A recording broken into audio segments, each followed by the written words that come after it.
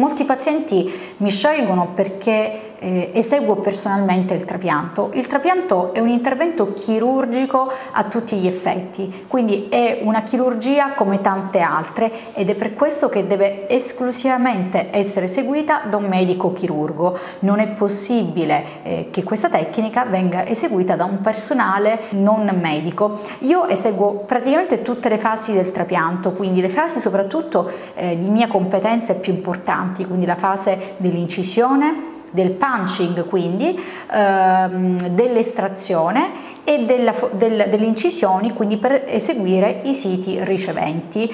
La parte del placing eseguita con gli implanters viene eseguita, viene, ehm, eseguita dal mio staff specializzato in questo tipo di tecnica e procedura.